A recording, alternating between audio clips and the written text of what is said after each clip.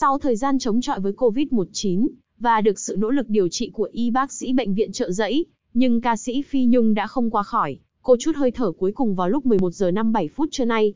Bệnh viện trợ giấy xác nhận với tuổi trẻ online.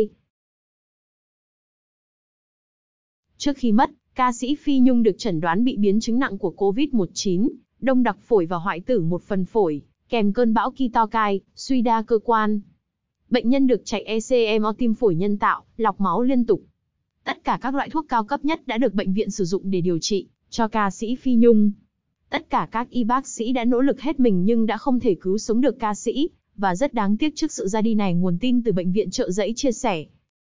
Phi Nhung nhập viện tại bệnh viện Gia An 115 từ ngày 15 tháng 8, nhưng tình trạng chuyển nặng nên được chuyển sang bệnh viện trợ giấy, ngày 26 tháng 8 và tới nay là tròn một tháng 2 ngày cô điều trị tại đây. Trong suốt hơn hai thập niên hoạt động nghệ thuật, Phi Nhung ít khi vướng phải ồn ào đời tư. Những năm gần đây, Phi Nhung nhận nuôi nhiều trẻ mồ côi, cơ nhỡ.